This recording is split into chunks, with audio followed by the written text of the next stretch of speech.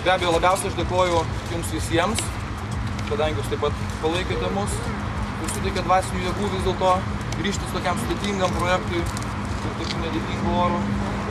Aišku, Ropai labai dėkoju, nes be jo tai būtų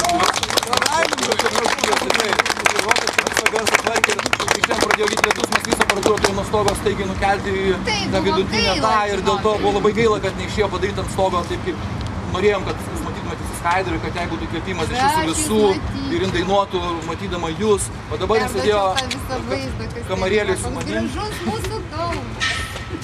O labu, visų labų, labų labiausiai tai norėjau padėkoti savo tėvams, kadangi yra pagrindiniai šio koncerto rėmėjai, kadangi be jų senai būčiau numiręs badu, šio koncerto nebūtų, taigi savo tėvams labiausiai dėkoju.